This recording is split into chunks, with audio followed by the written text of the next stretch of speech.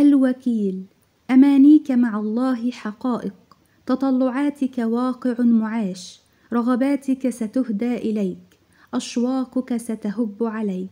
الوكيل هل تشعر بضعفك؟ وبأن الدنيا بتفاصيلها أكبر منك وبأنك ريشة في مهب ريح الحياة الصاخبة هل تشعر أنك طائر قص جناحاه فهو خائر القوى بحاجة إلى مساعدة؟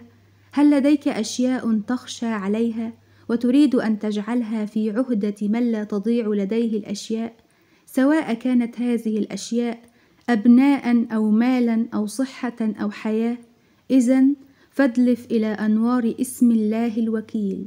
ابدأ بالتعرف من جديد على هذا الاسم الجليل. غص في أغوار معانيه. أرح نفسك من ضعفها وقلقها واستحاشها. بأن تجعلها تتفيأ ظلال الوكيل فاتخذه وكيلا. الوكيل هو الذي لا ينبغي أن تتوكل إلا عليه ولا أن تلجئ ظهرك إلا إليه ولا أن تضع ثقتك إلا فيه ولا أن تعلق آمالك إلا به. أي عمل تتوكل على الله فيه إنسه تماما.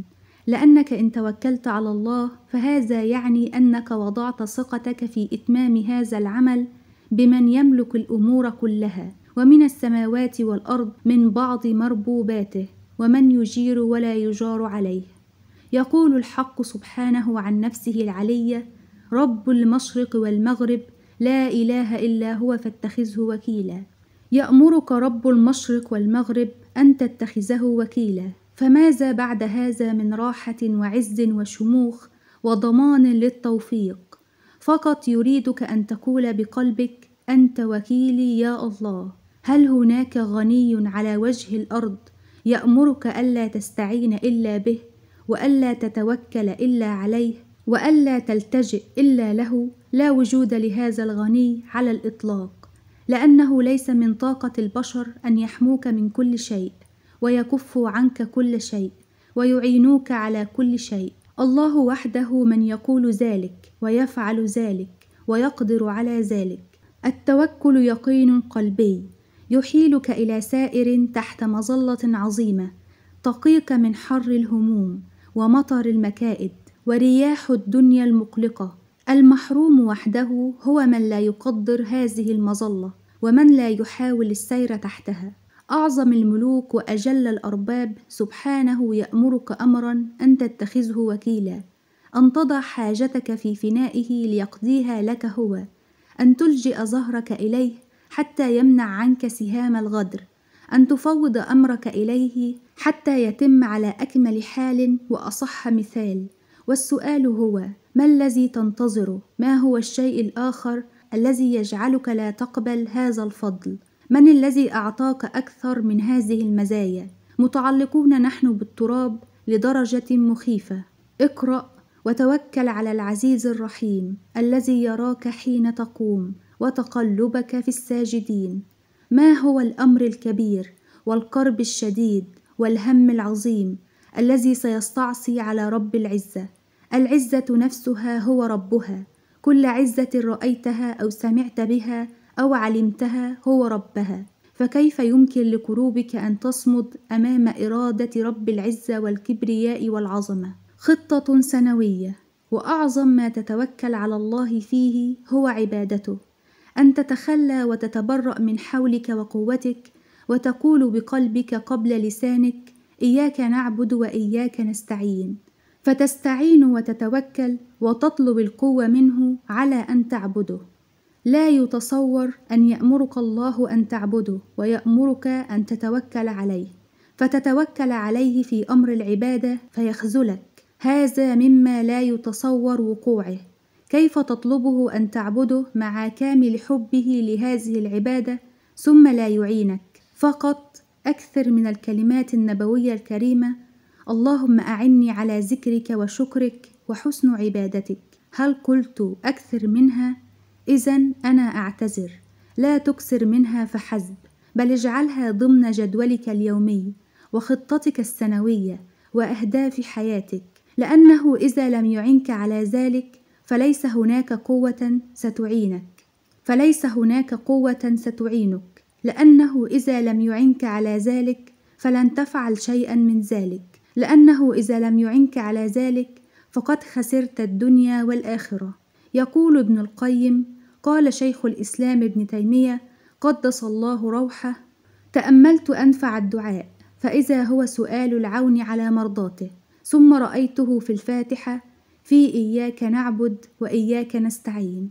ويقول أيضا القلب يعرض له مرضان عظيمان إن لم يتداركهما العبد تراميا به إلى التلف ولا بد وهما الرياء والكبر. فدواء الرياء بإياك نعبد. ودواء الكبر بإياك نستعين.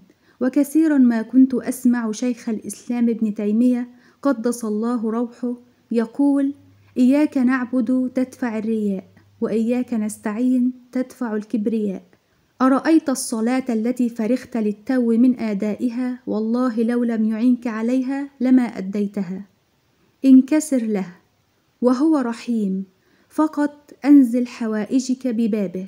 فقط اجعل قلبك منكسرا وكأنه مخبة تحت العرش ولو لم تدعه الرحيم سبحانه يريد هذه الحالة الخاشعة منك وبعدها ثق بأنه سيقضي حوائجك ويرفع مرضك ويخلق الابتسام على ثغرك. أمانيك مع الله حقائق تطلعاتك واقع معاش رغباتك ستهدى إليك أشواقك ستهب عليك وتوكل على العزيز الرحيم.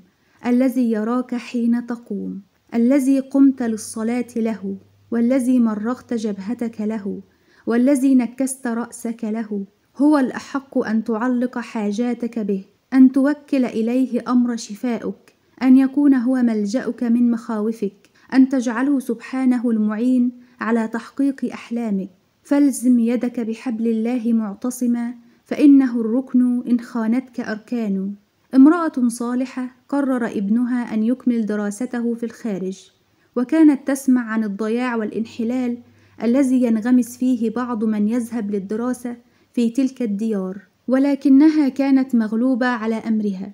أمور كثيرة أجبرتها على الرضوخ فعلمت أن الله هو القادر على حفظ ولدها فجعلت جزءا من صلاتها دعاء لولدها بالحفظ. عاد الولد من دراسته وقد صار من أهل المسجد وقيام الليل والأمر بالمعروف والنهي على المنكر. عاد وقد اكتسب قيما لم تكن لديه من قبل. كيف نتخيل أن الوكيل سبحانه سيترك الابن للضياع وأمه تتضرع إليه أن احفظه يا رب؟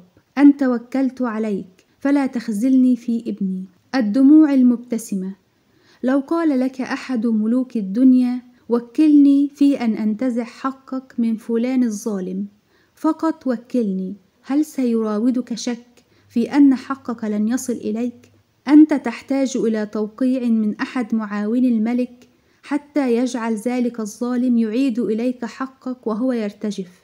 فكيف إن كان التوقيع من الملك؟ فكيف إن لم يكن توقيعا بل قياما بالمهمة من جهته؟ الآن دع ذلك الملك ومعاونه وتأمل وتوكل على الحي الذي لا يموت. لقد طاشت الآن كل صور الحاجات في نفسك. أليس كذلك؟ لم يعد للخوف وجود ولا للتردد مكان ولا للاحتمالات سبب. الله سيحول جميع مشاكلك إلى حلول وكل آلامك إلى عافية وكل أحلامك إلى واقع وكل دموعك إلى ابتسامات. حتى لو مت. فالحي الذي لا يموت سيعيد حقك لأبنائك من بعدك. لا تنشغل في لحظة وجعك وغمرة آهاتك بأبنائك من بعدك. فالحي الذي تموت أنت ولا يموت هو سيكون لهم سيكون معهم سيرأف بحالهم سيسعدهم سيجعل حياتهم أفضل منها وأنت معهم لأنه الحي الذي لا يموت. أكسجين الحياة. حتى لو لم يظلمك أحد توكل عليه. ليس التوكل مناجاة من ظلم الظالمين وإعانة على عمل معين فحسب. التوكل هو أكسجين حياتك. هل تستطيع العيش بلا أكسجين؟ توكل على الله في صحتك. أوكل أمر نبضات قلبك وحركة أعضائك وتدفق دمائك في شرايينك وانتقال الطعام داخل جسدك إلى الله. لو لم يأذن الله لجفنك أن يغمض لاحترقت عينيك جفافا. لو لم يأذن الله للسانك أن يذوق لبهتت الحياة في نظرك. لو لم يأذن الله لجلدك أن يحس لتقطعت دون أن تشعر. توكل عليه سبحانه في صلاح أبنائك. كم قد رأيت ورأيت أبناء تربوا في المساجد ثم ألحدوا. وليعوذ بالله. وأبناء صرف عليهم الآباء المال والرعاية ثم ضاعوا. وأبناء أحاطهم اهتمام إخوانهم الكبار ثم انحرفوا. الله وحده الذي يعلم مكان الهداية في قلب ابنك. ادعه أن يملأه إيمانا. توكل عليه. كله بخضوع. يا رب هذا ابني وأنت ربي وربه. فاهده إليك ودله عليك وأعني على تربيته. يا رب أنا لن أحسن أن آمر بالصلاة ما لم تعني وهو لن يحسن أن يصلي ما لم تعنه. فأعنا على ذكرك وشكرك وحسن عبادتك. الحياة جحيم بدونه. توكل عليه في سعادة حياتك. فالحياة جحيم بلا الله. يقولون امدح زوجتك. حدثها عن التفاصيل حتى تخلب لبها. ابتسم لها. عاملها بلطف بهذا كله ستكسب قلبها وحبها. نعم كل هذا صحيح. ولكن قبل ذلك وبعده وأثناءه قل يا رب أصلح لي زوجي. استعن به توكل عليه ادعه قائلا كل ابتساماتي لزوجتي لا فائدة منها إن لم تشأ أنت ذلك. تضرع إليه قائلا قلبها بيدك لا بيدي فاودم بيننا وأصلحنا يا رب لبعضنا. الله يريدك أن تعترف أنك ضعيف محدود القوى متواضع الإمكانيات وأنه وحده القوي العزيز العظيم. إذا فعلت ذلك فقد أنهيت ثلاثة أرباع التوكل. إذا فعلت ذلك كل الأشياء من حولك تتحول. صدقني تتحول. دعك من حاجاتك وأحلامك وهمومك. دعنا نتخيل أنك إنسان بلا حاجات وبلا أحلام وبلا هموم وبلا أمراض. أنت تحتاج أن تتوكل عليه ليحبك. ألست تريده أن يحبك؟ إن الله يحب المتوكلين. إن معنى أن يحب الله العبد معنى لا يمكن لمن لديه أدنى رهافة أن يمر عليه دون أن يخفق له فؤادا حنينا ورغبة وشوقا. الله الذي لا إله إلا هو يحبك. هذا سبب كاف جدا أن تسعى إلى التعلق بالوكيل سبحانه وأن تتوكل عليه وأن تحب هذا الاسم الدال على هذه الصفة العظمى. حسبي الله. يأتي بعض الناس ليثبطوك لينقلوا لك شيئا من الواقع البشع ليهزوا يقينك الداخلي ليلعبوا بأحاسيسك ليأمروك أن تخشى أن تخاف أن تتضعضع أن تغير موقفك أو تحرف وجهه مبادئك. في تلك اللحظة اغسل قلبك بالإيمان وقل حسبي الله ونعم الوكيل. لحظتها ستنقلب بنعمة من الله وفضل ولن يمسك سوء. اقرأ بتدبر. الذي قال لهم الناس إن الناس قد جمعوا لكم فاخشوهم فزادهم إيمانا وقالوا حسبنا الله ونعم الوكيل. فانقلبوا بنعمة من الله وفضل لم يمسسهم سوء. أما إصابة السوء لك فلا شك أنها لن تصيبك. ولكن حتى المس الذي كنت تظن أنك لن تنجو من بعضه لن يمسك لن يلمس جلدك قرح لن ينغز قلبك ندم بإذنه سبحانه. اقرأ بقلب وتوكل على الله وكفى بالله وكيلا. إذا توكلت على الله فلا تعتقد أن المسألة تتعلق بأنك لم تجد غيره لتتوكل عليه. لا ابدا. أنت تتوكل على أعظم ما يمكن أن يتوكل عليه مخلوق. البعض يقول ليس لنا إلا الدعاء. عجيب. وهل هناك قوة أعظم من الشيء الذي ليس معك غيره؟ الدعاء هو من مظاهر التوكل. الدعاء هو تيقن قلبي قبل أن يكون كلمات صوتية بأنه المستطيع سبحانه كل شيء وهذا هو التوكل في أوضح صوره الذي يقول فلان ليس له إلا الله كله وكفى بالله وكيلا ونعم بالله. وماذا ينقصه إذا كان معه ملك الملوك ورب المشرق والمغرب؟ خذوا كل دنياكم واتركوا فؤادي حرا طليقا غريبا فإني أعظمكم ثروة وإن خلتموني وحيدا سليبا. سبب مقنع. أتدري لماذا يكفي أن تتوكل على الله؟ هناك سبب مقنع جدا. هو كونه سبحانه يملك السماوات والأرض. قال تعالى ولله ما في السماوات وما في الأرض وكفى بالله وكيلا. هذا الذي تخشاه أليس من سكان هذه الأرض؟ إذا هو لله. والله سبحانه هو المتحكم فيه. هذا المرض الذي هدك ولم تجد علاجه. أليس في الأرض؟ إذا هو ملك لله. وهو سبحانه القادر على أن يأمره أن يغادر جسدك. هذه الكروب والهموم والغموم والأتعاب والانشغالات أليست في الأرض؟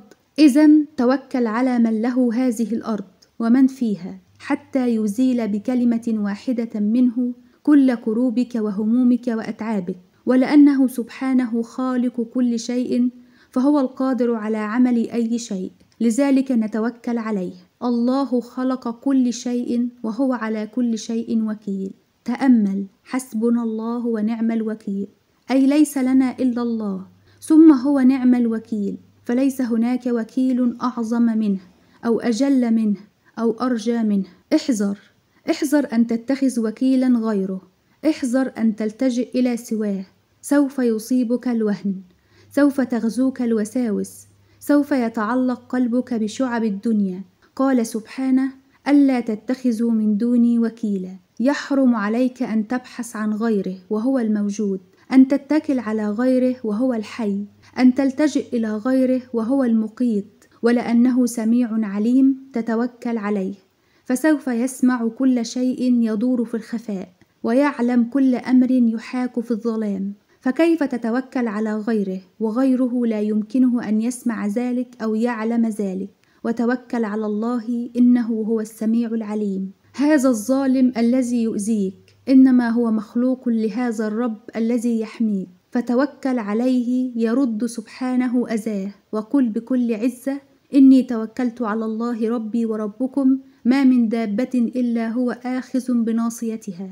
إذا كان الشيطان وهو ذو الجنود والعساكر والقوة التي أعطاه الله إياها على الوسوسة والتخويف بل والتلبس وغير ذلك لا يستطيع التوصل إلى المتوكل. قال تعالى إنه ليس له سلطان على الذين آمنوا وعلى ربهم يتوكلون. فكيف بمدير في العمل أو جار سوء أو أمير أو وزير تذكر ومن يتوكل على الله فهو حسبه؟ لن تحتاج أحدا أبدا إذا وثقت به وتوكلت عليه وجعلته هو المعين لك في شؤونك. هو حسبك وكافيك وراد السوء عنك. أنت إن لم تحطك رعاية الله من كل جانب هلكت. الحياة مزرعة مليئة بالأمراض والأتعاب والأشباح والخطط والمؤامرات وبدون رعاية الله ستبتلعك هذه الأفاعي. لا أخوفك هذه الحقيقة. قل يا الله توكلت عليك. هل قلتها بقلبك؟ الآن ابتسم. كل تلك الأفاعي انتهت. أشياء تهددك. إذا خرجت من البيت ينتظرك في الخارج حادث أليم يقع لك أو هبة هواء تمرضك أو حفرة تقع فيها أو شخص بذيء يشتمك أو إنسان حقود يحسدك أو موظف معقد يتعبك أو بائع غشاش يخسرك. ولكن قل عندما تخرج ما أوصاك به نبيك الكريم. بسم الله توكلت على الله. اللهم إني أعوذ بك أن أضل أو أضل أو أزل أو أزل. أو أظلم أو أظلم أو أجهل أو يجهل علي. الآن أخرج مستنشقا التوفيق والتيسير بإذن الله. كل تلك المخاوف لا وجود لها. وإذا نمت ألجئ ظهرك إليه وفوض أمرك إليه رغبة ورهبة إليه. في كل حين وفي كل لحظة تذكر هناك رب أمرك أن تتوكل عليه وأنت تحتاجه. لا تفرط في هذه الفرصة. وهذه الهدية وهذه الميزة أبدا. اللهم اجعلنا متوكلين عليك ملتجئين إليك اغمرنا بالإيمان بك واجعل هذا الإيمان يغسلنا من التعلق بكل ما هو دونك يا رب.